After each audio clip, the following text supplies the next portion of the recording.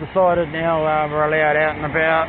Decided it's time to go and have another wee look see at what's left of Linwood High. So yeah, here we go.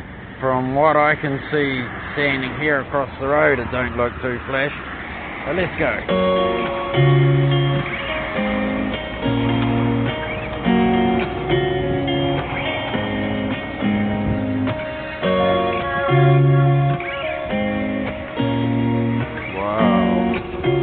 God, it looks like a bloody.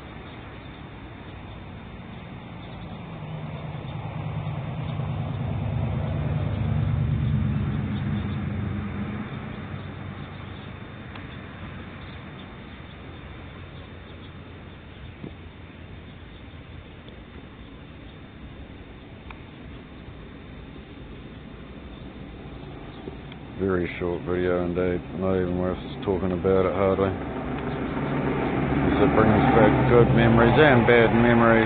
So that's it. Video over.